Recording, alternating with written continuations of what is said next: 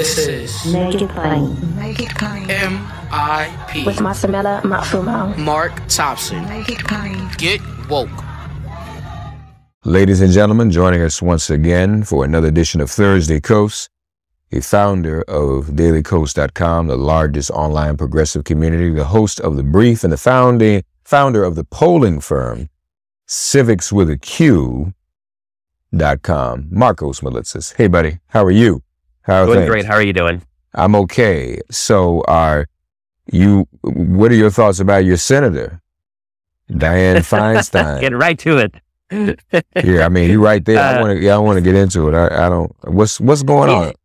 You know, I, I, I did not I, I did not support her reelection bid um, for several reasons, and one of them being how out of touch she has become. Um, but big part of it is her age, and there is a there is a problematic refusal by so many major progressive, uh, democratic, liberal political figures to not step down when their time has come. And we saw how much RBG's refusal to step out of the seat, step down, retire when um, Obama was president, how that has led directly to the destruction of so many of the things she cared about. And now we're seeing it again with Dianne Feinstein, where the judicial committee is deadlocked. Nothing's going to happen. Mark, nothing will happen. In, we cannot pass a single judge for the rest of this term. That's where we are right now. Because, and, and people don't seem to realize this, the committee membership is set by the organizing resolution at the beginning of the of the um, session. It cannot be changed without going through the filibuster right now. So as long as Republicans say we're not gonna we're not gonna seat somebody. So right now their excuse is, oh, you're just trying to marginalize Dianne Feinstein. She's such a wonderful person. That's her claim. As soon as Dianne Feinstein, if she were to retire, uh, or uh, or somehow is no longer in the seat, and the Democrats appoint somebody new, you know, Gavin Newsom appoints some new senator, and there is a Democratic senator that could slide into judiciary, the Republicans are not going to allow it. Why would they? I would tell our team not to let that happen if I was if I was you know reverse. It's like why give them a free shot at filling judge uh, judicial vacancies? Now, to be clear, this doesn't affect appellate or Supreme Court justices. It only affects um, district level court judges. But there is a massive shortage nationwide. The Republicans, Donald Trump, spent years packing those lower courts. Those are the feeder systems into the appellate courts. And uh, in fact, right now, if you talk about you know the importance of the lower courts, this this uh, this um this uh, decision by the judge in Texas to ban the uh, morning after pill, that's a trial court judge. These are the just these are the seats that are right now open. We cannot fill a single one of them. It won't be able to unless we do the nuclear option, get rid of the filibuster. And Manchin and Sinema have already said that they won't do that. So this is where we are because people like Dianne Feinstein won't retire when their time has come. And it's she's done so much. She's such a trailblazing figure. Why not retire? Go spend time with your family. And I'm not saying just this about Feinstein. There's a lot of Democrats right now. Congress is the oldest it has ever been. We have an entire new generation of leaders. We're seeing them in Tennessee, right? You, you've been hanging out with those guys, you know, supporting them. We have an entire new generation of Democratic, liberal, progressive leaders, and yet they are kept out because so many of the Democratic Party uh, elected officials in Washington, D.C. won't retire when their time has up. It's retirement time, folks. Time to move aside. Time to let new blood in. So it's really frustrating, particularly in California, which is not okay. Joe Manchin, it's West Virginia. There's not a single other Democrat that can win in West Virginia. California is the deepest Democratic bench in the country is in California. There's a lot of great possibilities. Feinstein could retire. Her legacy is safe. So I just want to be sure about this because I don't think I, we've not heard that report in the way you just said. Um, we can't get district judges seated because Confirmed. Yeah. um, oh yeah, confirmed because she is in that seat and she's not able to function to be there. Yeah, it right now it's a 50-50 because the Democrats, because you know they have the very slight majority. It's a one seat majority in that in that committee, and right now we don't have that. And and seat. and even if she were to step down today and someone would be appointed in her place, it's still a no no go because Republicans could prevent that person from being seated on the committee. Yep, they can filibuster the organizing resolution, which is what determines who sits in what seat. Now, you got some pretty naive reporters in DC saying, well, tradition says. We all know how important tradition is to Republicans, right? Yeah, right. And now and I'm telling you, like, no, if I was in is their place, right. if I was in their place, I'd say the heck was tradition. I'd be blocking, you know, if it was Trump, I'd be blocking those those judges. So I don't blame Republicans for doing this. I blame uh, a system that allows the filibuster to block this kind of decision. The majority should have a say. And that's on Sinema, that's on Manchin, and every Democrat that has allowed this travesty of a filibuster to continue. No, tradition is important to them. It's just they're going back to the tradition of the 1800s. Um, Yeah. That's the one that they're practicing. So, man, wait a minute. This is heavy. You mean to tell me,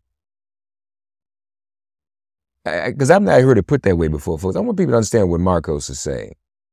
Unless she comes back to full function of health, we can't get judges, which is one of The- District judges. district Yeah. judges, which is one of the when that's important though because that's one of the hallmarks of the Biden administration. That's one thing he's been able to point to yeah. the diversity of, of judges he's been able to appoint, and there is a shortage.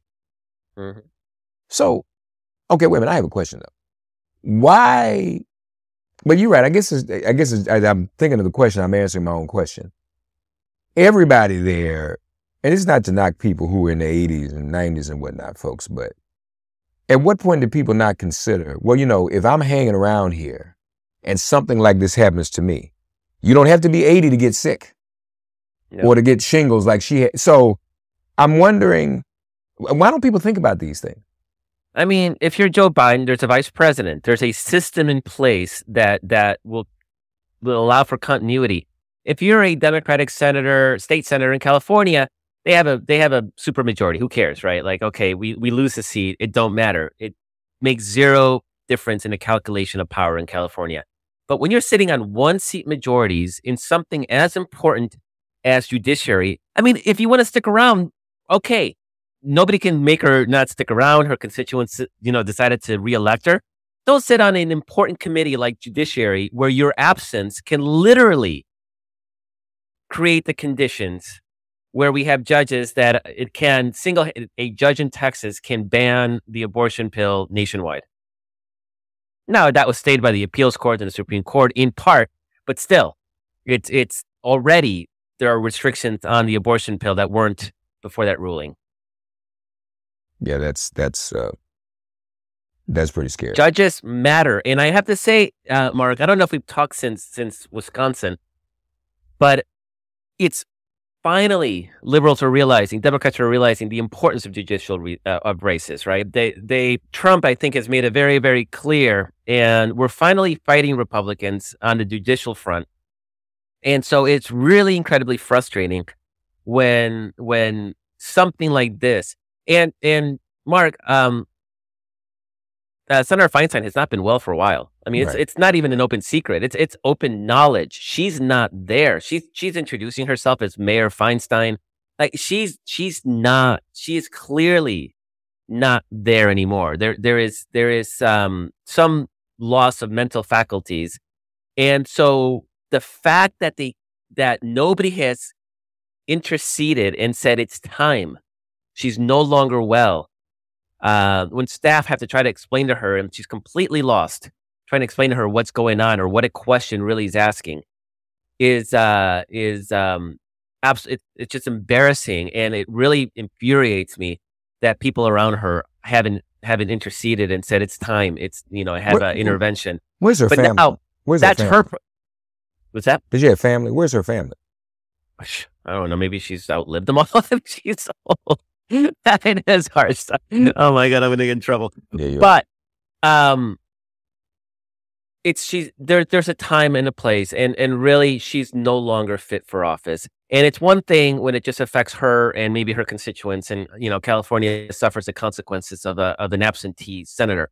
It's another when the entire country now suffers the consequences, which is what's happening. Wow. um, unbelievable. Um, Markos, um, we, as you mentioned, I'm being in Tennessee. They try to make it about other issues, but it clearly is about gun violence. In fact, I'm I'm still I've been back and forth. I'm back in Tennessee, um, and we continue to see more gun violence. A young man in Kansas City. There was another young woman shot who also knocked on the wrong door. Uh, Alabama, Louisville. Did you see the cheerleaders? The cheerleaders, yeah, right. That that uh accidentally tried to get in the wrong car. Yeah, right, right. That too. That too. Right, right. Was right. horrified. Went back into her, you know, her friend's car, and this guy went after them and shot them. Yeah, yeah. But is, I mean, this is probably an unfair question for you. It's more of a meaning of life question, but I, I have to ask it, maybe because all the things you know that I don't know.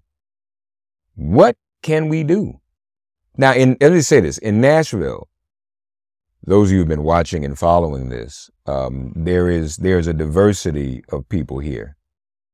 Um, women, white women especially, again, suburban college educated. A lot of college students here in Nashville still protesting. Um, but there's a super majority in this state, like a lot of states. What can we? I mean, it just seems. And someone asked me to, uh, today. You know, there's there's nothing we can do. They said, "What can we do?" The I'll votes aren't. you. Go ahead. Yeah, I'll I'll tell you what we can do. Um, we have a Supreme Court that pretends they're about original intent on everything, right? Original Right. intent, original intent, but are going to somehow pretend that the words "well-regulated militia" don't aren't the frame around which the Second Amendment was built upon. And so we literally, there's not much we can do right now, this second, but we can do what the what the anti-abortion movement did for 50 years is they worked and they built and they organized and they finally got the Supreme Court they needed. And that's what we need to do. I mean, we have to realize that this is a long term fight. Uh, it is unfortunate that there are no levers of power that we can wield right now that can that can uh, overcome this reactionary Supreme Court. But we can build towards that, and that means we need to hold the ground in the Senate. We need to get rid of the filibuster. We need to build when when the you know on the map. And public opinion is, is, is important, Mark. And I will say that the abortion issue has dramatically reshaped the suburban political landscape. Particularly, we've always talk about it, white, college educated, suburban white women. We're seeing evidence that men are starting to, to shift. These issues will continue that trend and uh, I, I've been, I've been, I've, I have a new hobby, Mark. Watch People Magazine. People Magazine is the most, it's it's the largest non-free publication in the country. It's circulation of 80 million, I believe, and it's full of stories on women having issues uh, under abortion restrictions, and t- tons of stories on gun violence. This stuff is seeping into the mainstream in a way that it had not before. Before it was a political debate. Now it's actually percolating around parts of the media landscape that are really non-political and it's just regular heartland, middle of the country Americans are, are watching and reading.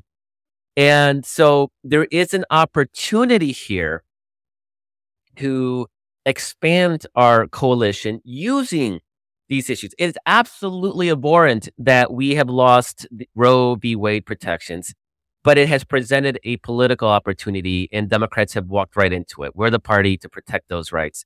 And we can be the party to protect you, you know, young people from, uh, from gun violence and let Republicans just burrow themselves into that 30% minority that they are in. And, uh, my good friend Simon Rosenberg, I believe you might know Simon. Uh, he, uh, he's a longtime Politico, you know, he's worked in the party committees and now he's, he's solo and he has, uh, he has a uh, Substack, and um, he was one of the very few people in the sort of the party establishment that said that Democrats were going to win last year. And he was accused of being, you know, hopium, and the press laughed at him, and everybody thought he was so silly. But it was like him, Joe Trippi, which was Howard Dean's campaign manager back in the day, uh, and me, and us at Daily Kos. We're like, we were like the only people saying, like, we're not going to lose this election, guys. Uh, you know, this is looking like a typical midterm election. Well, Simon has he he's now talking. This is Mark. This this seems so freaking obvious, and yet it's so revolutionary. I can't even believe it. He's saying Democrats have gotten really good at winning 51% of the vote. And if you look at the last, you know, 30 years of presidential elections, we're like 51 Republicans, 46, 51, 46, almost across the board. And they've only won won the popular vote once in those last 30 years. That was after 9 11. Uh, and um, so, what's stopping us from going to 55% of the vote? Like, why, why are we so content fighting for that 51%, which means that Hillary's emails at the last minute, you know, you ship one or two points in the Republican direction and you lose the election. 51%. Now you get to 55%, and we have what we had in the Wisconsin judicial Supreme Court race, right? Where we won 56 44. Once you're up there, you're winning by 10 points. Who cares if like there's last minute news or there's a storm or any kind of blip, right? Okay, so you win by eight instead of by 12, right? Who cares? That's what we need to do. And we're only going 51 to 55%, right? That's four points. It's doable. The space is there. And it's there because of abortion. It's there because Donald Trump and his, his assault on, on democracy and guns. That's the tripod. It literally is a tripod that's going to get us to 55%. Once we're at 55%, Mark, the whole political landscape changes. It means Wisconsin is no longer a battleground at that point. Pennsylvania is no longer a battleground. You know what it is? Mississippi and Texas, those states, North Carolina starts becoming, you know, more closely contested. We have a landscape where we can expand that Senate playing field. We can we can be more secure in the presidential race. We can nail down the House because that suburban battleground, all those suburban districts that are Republican right now that were drawn to be Republican, they're all, they're all changing. And then you have a landscape where as these conservative Supreme Court justices die or or retire, that they can be replaced with justices that will actually listen to what the first, the Second Amendment said, which was a well regulated militia, well regulated, well regulated. Not to mention militia. Let's just talk about well regulated. And we're going to pretend that the Second Amendment says that there can be no restrictions on, on guns. It just blows my mind. Yeah. Um, and, and I think you're right. That is what is going to continue to mobilize people um, and hopefully prevent our side from becoming apathetic it and and the Supreme Court is in the process of re- reviewing the pill, the um, mifepristone, I believe is how you pronounce it, and oh, yeah. I mean they they still don't get it, so they make a decision adverse to women on that. That'll just make it even more right. That'll just yeah, bring about after, even more. After they said that, oh no, we just care about sending it back to the states. Now let's see if that's true because that'd be a national ban. And you know, let's let's see how real how um and I actually from a practical standpoint, I could see the Supreme Court actually ruling against that, even on maybe like jurisdiction grounds, like finding some excuse not to, because they know they're all, they're Republicans, right? They want Republicans to win, and they just saw their party wiped out, and their future prospects are absolutely looking dire. So if I'm a Republican Supreme Court justice, is I'm thinking like, okay, how do I cool the temperature down, um, and and you know, and and affirming a ban on the morning after drug would just be an absolute. I mean, that's that's it. Like Tennessee's, it's only in play. Like, I mean, they would dramatically shift things um, in a ways that that I don't think they want to see happen. But it it it sucks to say like we may it may take 50 years. I don't think it's going to take 50 years, Mark. I think the timeline is accelerated as long as we remain engaged and active. But we can take lessons from the anti abortion movement and how patient and persistent they were in their fight in order to uh, sort of emulate that and realize, okay, this is this is not going to be easy. There's no quick solution, and because um, uh, six people on the Supreme Court are going to invalidate the obvious wishes of the vast majority of the American people. And so, what are we going to do about it? And it could be accelerated even quicker. I mean, what if we get, what if we surprise everybody and pick up a couple of seats in the Senate next year? It would be, the map is horrible. The map is so bad. I don't see it happen. But what happens if there's a there's an earthquake, political earthquake, and we can take a couple seats? We can get rid of the filibuster, and then we expand the court. I mean, we don't have to wait for those justices to die off. We can literally expand the court to 15 overnight. There are solutions that can happen, but we need to organize and we need, we need to fight for them. And we need to figure out ways to win in places like Texas uh, and Florida, even, because those are unfortunately our best pickup opportunities next year in the Senate. Uh, but if this is as impactful and is is um, and these Republican actions are as unpopular as they seem to be, can Democrats take advantage of that climate, push to 55%, make states like Texas and Florida competitive again, and then it's a different world. So that's what needs to happen. And I'm actually excited for that fight, Mark. I'm, I'm, I'm, people want that fight. Right. And it's, it's fun. Not like, Mark, like 10 years ago, like during the Obama years when nobody wanted to do anything. Remember that? That was, that was brutal. This is a different world. And people were still dying back then. We still had gun violence. We had all those things happening and people just weren't activating. Things are different now. I, I can sense it. Um, no, that's, that's Im- important to note. Um, and we, like to think that, you know, that's real, that people are moving forward. People want to, want to be in this fight and are going to sustain it. And we know that the gun violence is not going to go away. There's probably some a mass shooting taking place even during the midst of this conversation we're having now. What is what is Civiqs um, saying? What trends have you been looking at in terms of Civiqs and gun control? So it's we have a gun control trend line uh, on the Civiqs homepage. So anybody can go see it. Civiqs with a Q. And the pattern that we've seen is that there's big support for for gun control after a major mass shooting and then it, it and then it fades. Like it, you know, so you got these, and then there's the next gun shooting, right? And so it's like this electrocardiogram, right? It's up and down, up and down, uh, depending on the on the shooting.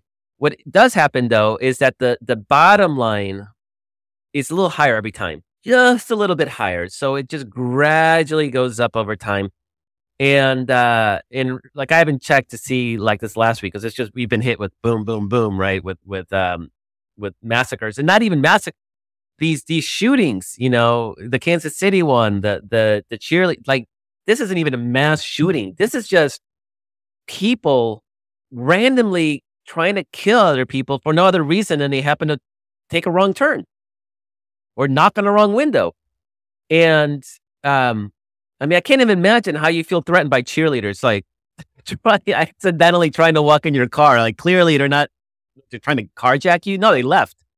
So um, so again, I haven't I haven't checked right now to see what those numbers are, but they they're definitely we're seeing the uptick from it from the recent spate of gun violence, and the problem is, and this is what Republicans have learned, is that that fading afterwards, right? They know they can just write it out, so they can do their their hopes and prayers, and oh, we we should do more about mental illness. They'll say they have no interest in doing anything about mental illness or gun violence. They don't care. They know that the American public will eventually uh, lull themselves back into complacency. And that's that's the complacency part is the part that we can't allow to happen. And and in its in a vacuum, it's easier for that complacency to happen. I think right now with the assault on democracy, the assault on on, on abortion, that the gun rights as a third prong actually has more staying power. It, it actually builds on the others to create that narrative that our very existence is at risk they want to see our children dead. They want to control our bodies and they want to take away our democracy. It is a powerful anti-Republican narrative that they feed into by, by explicitly being fascist in rhetoric and in, and in outlook and in policy. So it is, again, it, that's the opportunity that we have as a party and as a movement to step into that breach that they're giving us. They're gifting us space to push that base of Democratic support nationally from 51 to 55%. And does that four points, it dramatically changes everything. We don't have to get to 60, 55. Right. Uh, 50 45 at the moment on at civiqs.com. And when you look into the demographics, I, I thought I might see uh, some better numbers for Republican women uh, when it comes to gun control, but no, um, they're they're pretty solidly, which is really unbelievable. I mean, that that even Republican women. I, I wonder, and you know, that's one of those things you have to wonder whether that's real or whether they're just saying that. Um, the other thing to note, though, is that that a lot of old Republican women have left. So a lot of what used to be a Republican woman, which was these white suburban college educated um, white women in the suburbs, like suddenly saying like, you know what, I'm an independent now, or you know, becoming Democrats. So what you're seeing with the Republican Party, it's it's actually shrinking. It's it's um, Civiqs won't show that, but Pew data and voter registration data will show that voter registration, the size of the Republican Party is shrinking, and uh, it's becoming more MAGA as it shrinks. Right? It's it's shedding anybody that has any hint of moderation. And that's crazy. Lastly, uh, Ron DeSantis. So Chris Christie has spoken out against him uh, in the past few days. What what is and he's still taking on Disney. It's so who weird. Dis, who dislikes Disney? I mean, you can dislike Disney, the company, because they're they're, you know, what they do with copyright law, and I mean, they're they're they're they're a corporate behemoth, right? And they're they're they have plenty of horrible things to to rail against. He's railing for the wrong reasons. He's not railing for working conditions or or subverting of copyright law or any of the you know any or uh, uh you know things like that. I mean, he's he's he's going after them because they have gay night at Disneyland and for speaking out against against uh, don't say gay law. It's you know DeSantis is just sort of a he may be the most hilariously bad politician we've seen in a long time. I mean, it's a wonder that he won re-election by as much as he did, um, because he does not. Um, I mean, I always thought he was going to fail as a politician. If you ever seen him, he wears high heels, right? He doesn't have he he literally wears high heels and it's boots. No, they're high heels. It's like two inch heels because he's a small guy. He has no presence. He doesn't walk in a room and he fills it. You know, politicians who fill the room, uh, or activists uh, who fill the room, and he does not do that. His voice is thin and um, lacks any hint of masculinity. And these are things that we can we wish wouldn't matter, but they actually matter for, pol- for political campaigns and particularly for Republicans who try to be all macho, you know, masculinity, blah, blah, blah. So I always thought he was going to flame out the more people saw him. I didn't realize he was going to flame out before people saw him. I mean, this is a hilarious part of it. And, and so he, I don't, I don't know what he was thinking, but he decided to run this. He was going to spend a lot of early money building organization in, in all these key states. He wasn't going to put all his, all his marbles into Iowa and New Hampshire. Uh, so he needs all this money, and his his donors are abandoning him because of his social extremism. This six week ban that he just signed in the dead of night in Florida. He doesn't realize that uh, that um, that the American public, or maybe he does and doesn't care, but you know, on abortion, on democracy, and all these issues, Donald Trump's on the wrong side of public opinion, and there's a real opportunity for him to set himself apart but he he mildly criticized Trump over Stormy Daniels, and he said something like, "I don't I don't know, you know." Uh, it wasn't even like a direct attack on him. It was some. It was I can't remember, but it was some very weak like. I, I'm not going to comment because I don't know what kind of information they may have about you know this uh, this adult film star. It was some weak like that. Donald Trump went after him hard, and he backtracked immediately. And Mark, hasn't Donald Trump taught anybody that apologizing in politics is a sign of weakness? You never apologize, and particularly if you're a Republican. So Ron DeSantis basically not only did he not even, you know, it's one of those like if you're gonna if you're gonna take a shot at the Queen, best not to miss. He took a shot, missed by a mile, and then he he backtracked and looked weak in the process. And that's not what Republicans are going for. And his numbers are absolutely tanking after that. Doesn't help that po- politics wise, his policies are, are unpopular, but it is just amazing how poor his political instincts are, how unprepared he's been for Trump attacking him.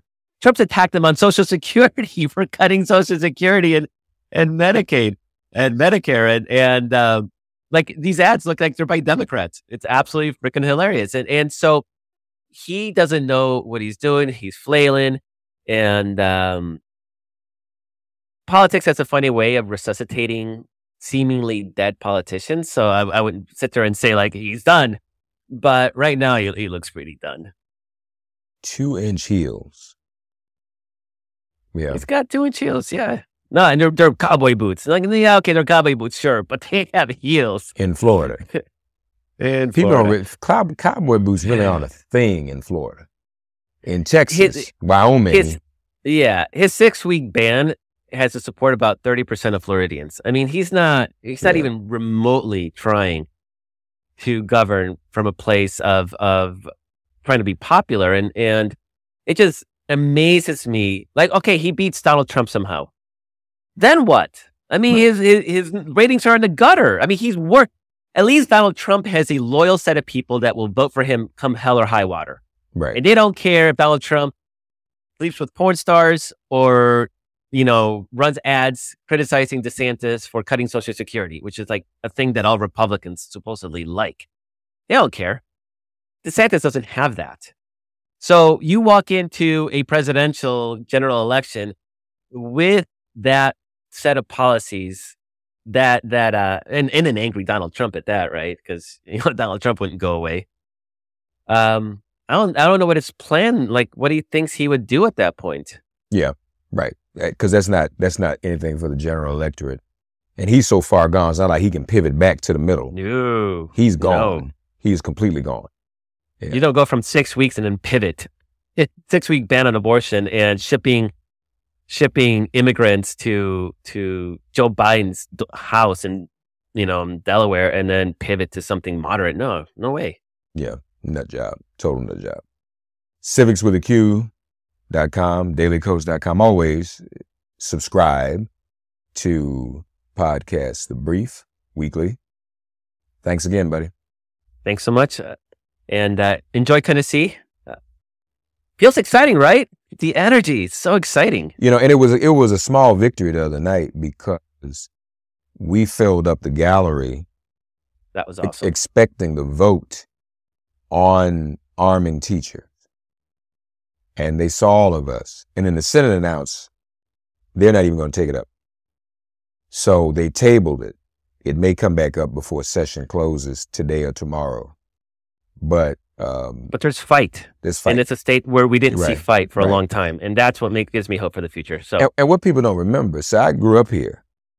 And when I was growing up here, I was actually a page in the house. My uncle was chief sergeant at arms. Tennessee was a blue state. Yeah. Had a Republic, I mean, had a Democratic governor, Al Gore, and there were two Democratic senators from Tennessee, Al Gore and Jim Sasser. And back to your point about the strategy, it was really the Clintons that first abandoned the 50 state thing. It was like they cut a deal. We'll let you and Newt Gingrich have the House and we'll just focus on holding the executive mansion. Uh, and like you said, even the Obama administration, like they were operating out of the same playbook. Oh no, you know, we're not going to win the House. I mean, Biden comes along and says, no, we're going to do something. And I mean, Democrats didn't win, but they won the House. Republicans didn't win it. If anything, n- nobody won it, or if anything, they, you know, shot themselves. So, I mean, I I think you're right. There are opportunities um, to build on this, even in a state like Tennessee. And, and Nashville, Mhm. a big city now, is very liberal. Memphis, other places like that. Um, but it's it's not like it, it, it hasn't been blue before. Yeah, Um, and it's it- going to be a lot of work, but it's it's it's doable. right, and more people are moving here. Mhm. Cause I, you know, if I wanted to move back home for a lower cost of living, eh, that ain't happening. It's cost as much to live in Nashville as it does live in New York. Uh, Mhm. but but there's there's I mean there there are people moving here, so you know we'll see what happens. The the fight is Yep. on, folks. We got to keep fighting. Yeah, Stay I'm in glad you're touch. there. Yeah, and look, stay in touch too uh, with dailykos.com. Be on top of all of the progressive issues, which which which are the issues that the majority of Americans support. I don't care what anybody says. Oh, and I know what I want to mention before we go. You mentioned people. Man, speaking of being a teenager here in Nashville, I haven't looked at people since before there was the internet. right. Because wait a minute, people used to always be in the line in the grocery store. Yes. That was the And when you know, we go through the grocery store, and there was always some big headline on there. People was was was a few steps above the tabloids, but they still had sometimes they have salacious headlines. yeah. I just went on the website. You're right, and we know everybody looks at people. They're talking 80 about million. yeah, 80 million the magazine, not even the, the online, even more probably. eighty million. This magazine has 80 million circulation, and it's all about abortion and about abortion restrictions and, and women dying from not being able to have abortions and uh, family planning issues and uh, and now the gun stuff. Wow. Yeah. I found out about the cheerleader from a somebody sending me a People magazine article. Well, I learned something. You maybe I need to start looking at people more too, and and seeing what they're doing, and we can see Culture's moving. Yeah. the culture's moving.